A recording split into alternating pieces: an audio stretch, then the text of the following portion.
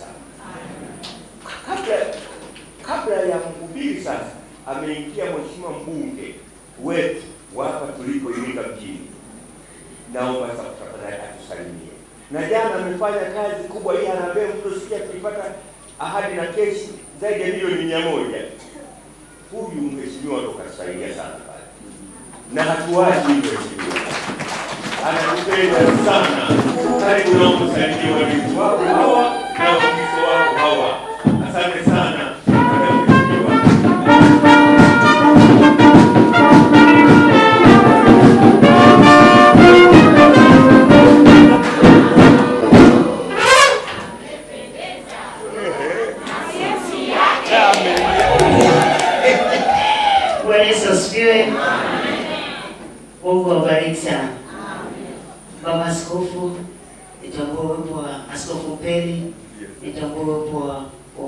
wa majimbo, nitambua uwepo wa wachungaji wote wa sharika zetu kutoka katika dayosisi ya Iringa, nitambua uwepo wa viongozi wote wa kanisa, wazee wa kanisa, watumishi wa Mungu, wapakwa mafuta wa Bwana, manabii, mitume, walimu, wainjilisti na wachungaji na waimbaji.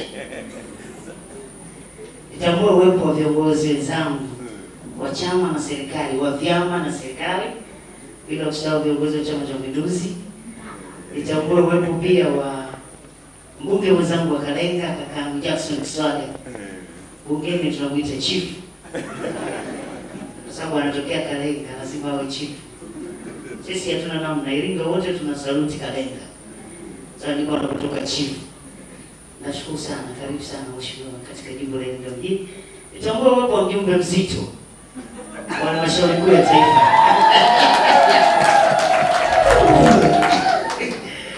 kaka yangu, rafiki yangu, DC wangu staafu Kasesera. Asante sana wale niliowasahau jamani, waandishi wa habari na nyinyi natambua uwepo asante. Ah, Baba Askofu nakushukuru sana kwa nafasi hii lakini kama nilivyokuambia jana, nitakuwa na majukumu mengine asubuhi, lakini nitajitahidi kwa namna yoyote nifike Kiesa. Nawapenda sana Kiesa na wao wanajua, naamini na wao bado wananipenda.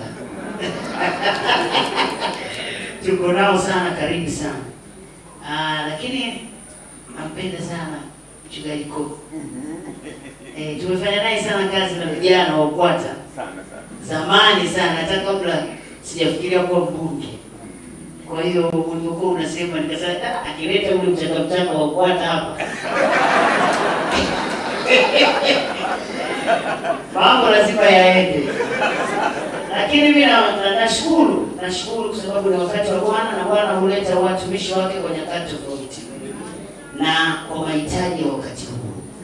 Tumshukuru mkuu wa jimbo aliyokuwepo, babangu rafiki yangu na yeye, lakini kama nilivyosema kwa askofu, amefanya kwa sehemu yake kwa wakati ule na kwa mahitaji ya wakati ule. Sasa tumepata mwingine, tutaendelea. Lakini kama ulivyosema kwa askofu, jimbo hili ni kubwa sana, na hata kisiasa, kata ya Kesa ndio kata yenye wakazi wengi katika kata zote ndani ya manispaa ya Iringa.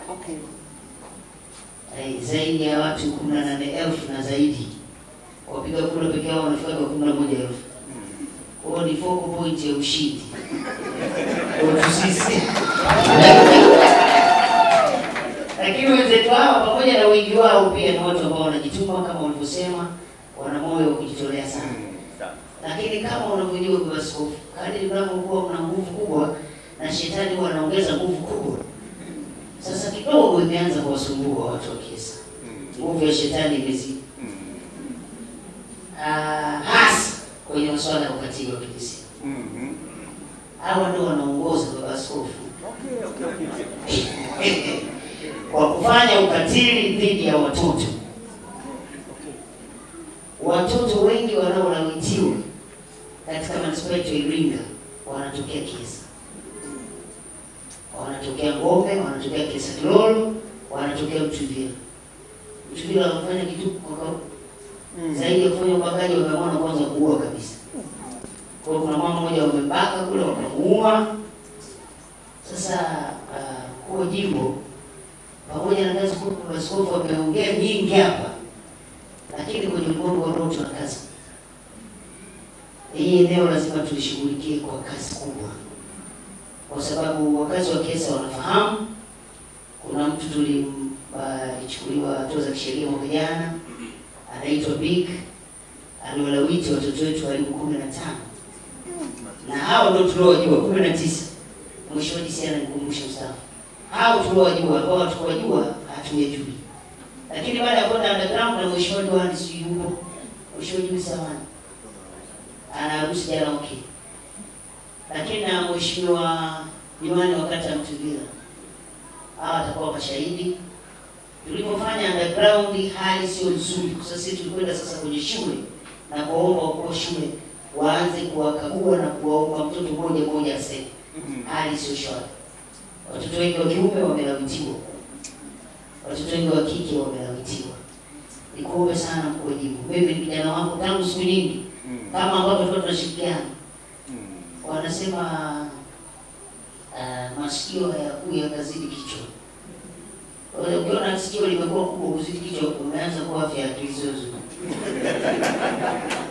Kwa hiyo mimi bado ni kijana wako. Bahati nzuri sana na mke wake ni rafiki yangu sana. Yaani mimi baba askofu ni mtumishi wa Mungu tena kwa mafuta makubwa tu.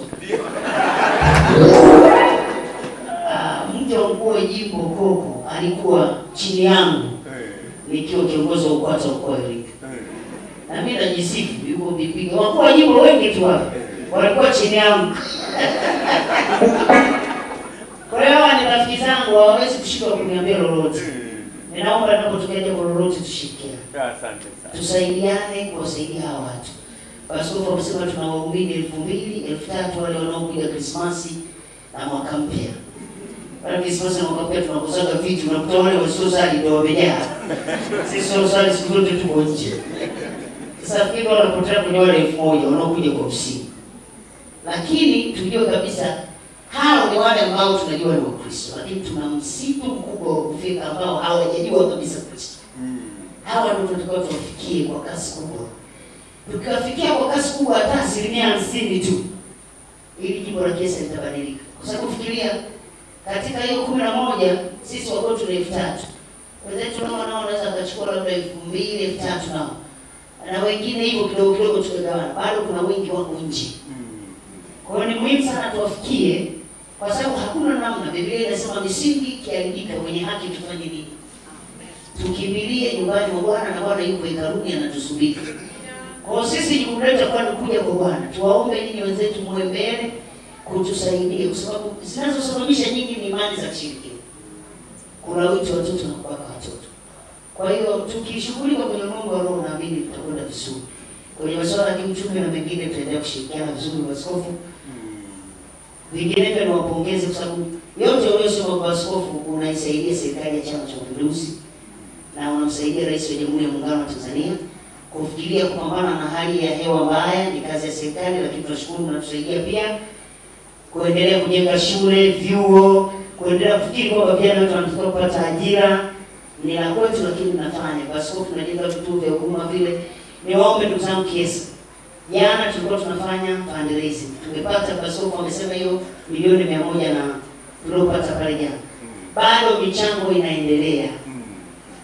Na focus kubwa ya wale wenzetu Huruma Center ni kuchukua watoto wanaokuwa wamebakwa na kulawitiwa wawekwe pale, kwa sababu kukaa huko majumbani mnapoteza ushahidi, mnawatisha wasiseme kweli, zile kesi mahakamani haziendi vizuri. Lakini pia fikiria, mtoto anarudi nyumbani anakutana na yule yule anayembaka, anajisikiaje? Anazidi kuwa anaathirika zaidi. Kwa hiyo kile kituo, kazi kubwa kitafanya ni hiyo, kuwaweka pale, lakini kuwaweka tu waisaidii, wanatakiwa kupata na elimu. Tuwaombe muendelee kuchangia ili tumalize kujenga kile kituo. Kwa wale wenzetu ambao walikuwa wana taarifa, fomu zipo, kadi sipo, tunalipa kwa lipa namba. Ukimwona mkoji kwa nayo atawapa tulipe, tuchangie. Ukichangia unapoipeleka ile sadaka, mwambie Mungu, ninaweka hii ulinzi wa mtoto wangu sija akabaka ngumu uwe na alama fulani. Yaani Mungu hataki kama kukumbuka, kama huna hata kitu. Unajua kuna vitu vingine tuelezane kweli. Hata mchungaji zamani, wa mchungaji, hata mchungaji wanamkumbuka kondoo yule ambaye hata Sasa wewe unapotea tu ueleweki chochote, uweke alama mahali. Nehemia alitaka kufa mapema, yule mfalme alikuwa na Nehemia, Ezekiel, alitaka kufa mapema, lakini akaongezewa miaka kumi na tano sababu alikuwa na hoja za nguvu alizopeleka mbele za Mungu. Akasema Mungu akumbuke niliyoyafanya. Kwa hiyo na wewe mtoto wako unapokwenda shule mwambie Mungu, kumbuka nimetoa sadaka yangu katika kile kituo cha huduma. Kwa nini mtoto wangu asilindwe? Kwa Mungu akiangalia anaona kweli, si ndio jamani? Mungu awabariki sana, maana sisi na sisi tukipewa mic tena bahati mbaya mbunge wetu kidogo na upako wa tatizo. Mungu awabariki sana.